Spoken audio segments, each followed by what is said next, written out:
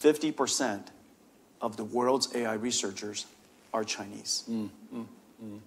Third, 70% of last year's AI patents are published by China. The ecosystem of AI in China is vibrant, rich, incredibly innovative. Yeah. Yeah. They work incredibly hard. This is a country with an enormous might. So that is the ecosystem of software developers. Yeah. Now, that layer, as I just mentioned, the model and the application layer. All of these scientists, they're sitting at the model and the application layer.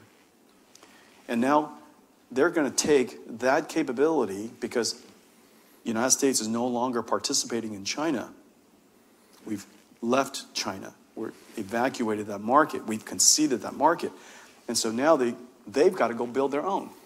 So using these AI researchers, all of these incredible computer scientists that they have, their richness of software capability, and they're going to go build their own complete stack. Mm. Once they build that en- entire complete stack, they'll export it Yeah. as quickly as you could imagine. And this is the, the, the world what we will find someday if we don't activate We'll be buyers, not That- sellers.